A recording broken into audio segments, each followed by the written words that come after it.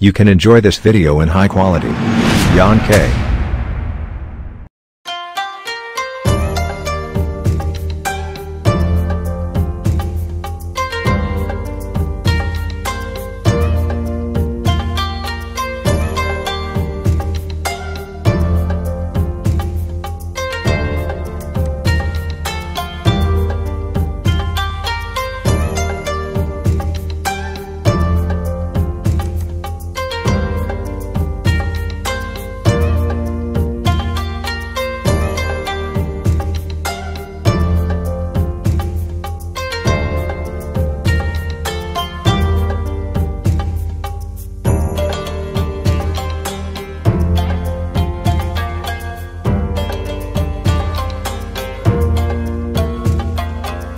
皆さん、こんにちは。ジャパントラベラーの摩天楼です。今回は、岡山城、秋の宇城桃源郷を巡る旅をお届けいたします。この動画は視聴者の皆さんが実際に旅をしているような仮想体験する番組です。どうぞお楽しみください。目安橋。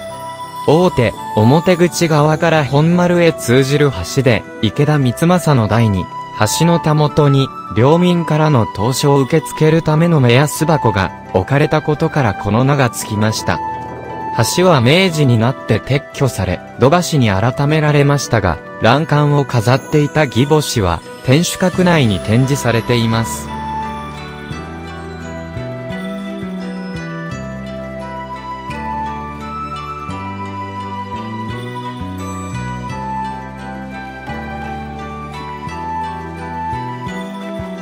大石の使用。岡山城の建設当時は、大名が威勢を誇る目的で石垣に巨石を集めて築くことが流行していた。岡山城の大石は、この辺りに多く使われている。また、石垣の石は、瀬戸内海に浮かぶ大島などから運び込まれました。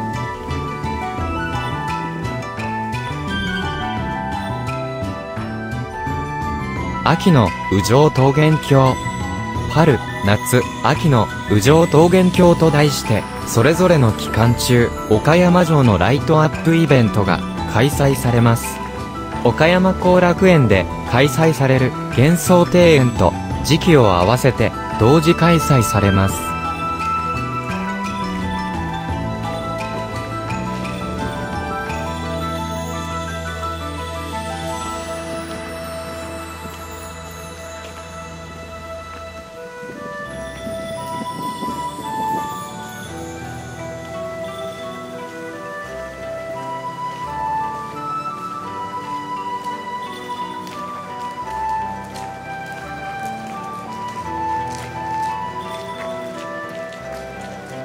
中の段、南西の石垣。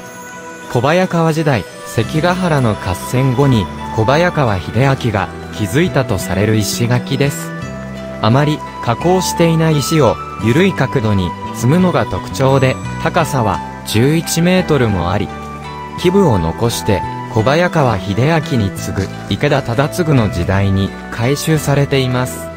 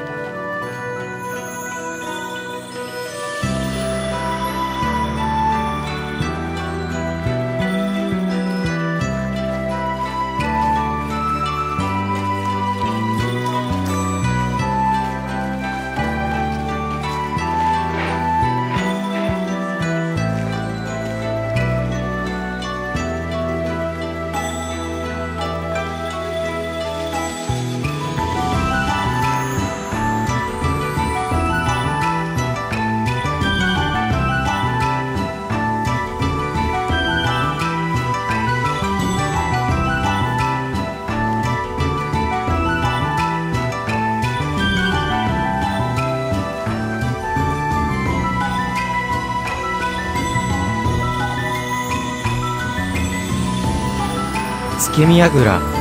池田忠夫の頃月見櫓が建てられました。月見櫓の石垣は花崗岩を割って打ち込み萩に積んでいます。割り石を規則的に積み、勾配は扇のような美しい曲線を持っています。月見櫓は戦災の時も炎症を免れたので当時の姿を今もそのまま残しています。月見櫓下の石垣。池田忠夫が1620年代に築いた石垣で表面を平らに加工した石を用いています。宮部は特に平らに整えられた方形の割り石を配し、その長辺を交互に振り分けた三木積みとなっています。石材は白色度の強い花崗岩で瀬戸内海に浮かぶ岡山県の犬島で切り出されたものと見られています。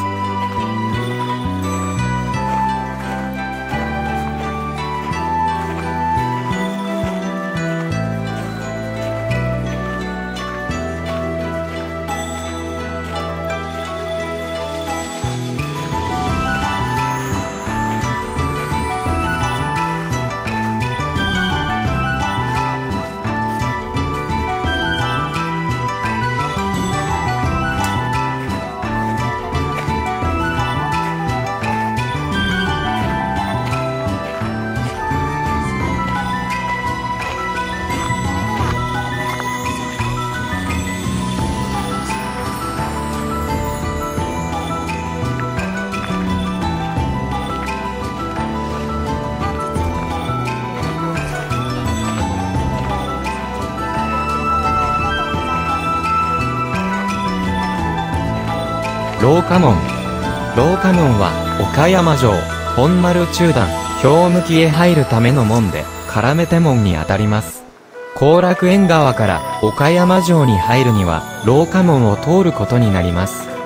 櫓門形式の門で、上屋は、本段御殿に住む藩主が、中の段の表書院に降りる通路として利用されたため、廊下門と呼ばれました。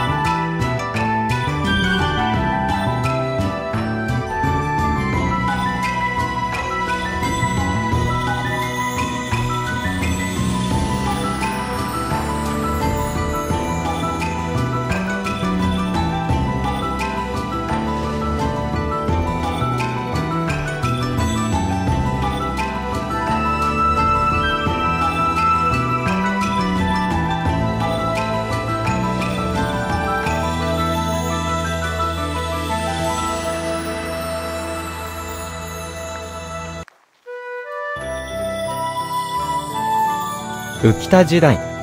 この石垣から東、旭川方面に続く高石垣は浮田秀家が慶長2年1597年までに築いた石垣で加工をしない自然石を用いています。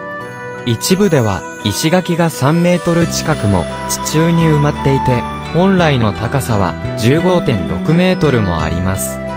関ヶ原以前の石垣としては全国屈指の高さを誇ります。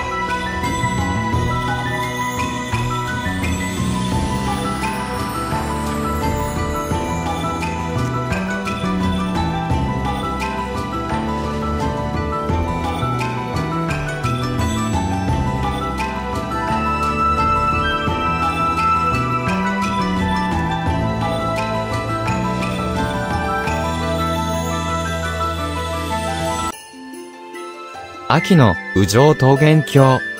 戦国大名、浮田秀家によって築かれた岡山城。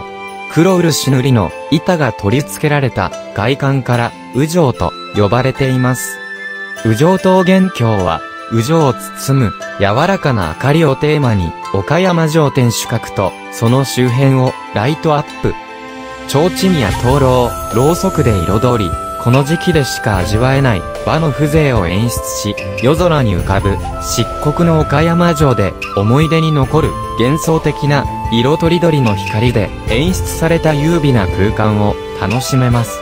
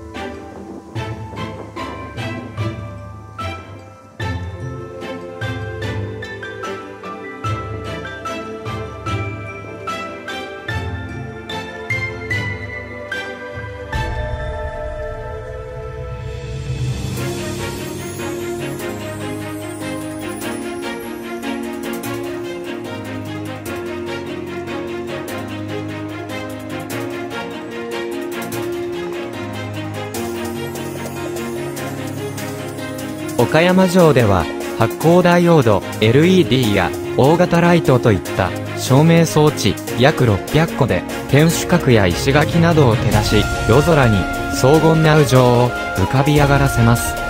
天守閣前広場には歴代藩主の家紋や旗印を入れた扇形などのオブジェが並び、来場者の目を楽しませてくれます。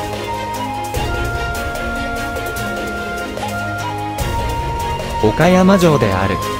天下人となった豊臣秀吉に身内並みに厚遇されて大大名となった浮田秀家が秀吉の指導を受けて築城し8年の歳月を費やして建造され慶長2年1597年に完成した岡山城。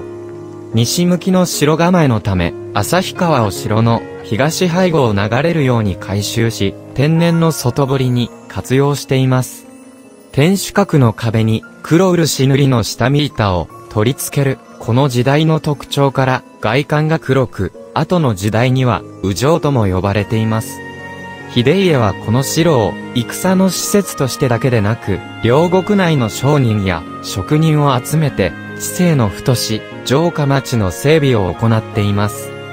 関ヶ原合戦で敗軍の将となった秀家は、流配先の八丈島で、城主よりも長い期間の余生を過ごしました。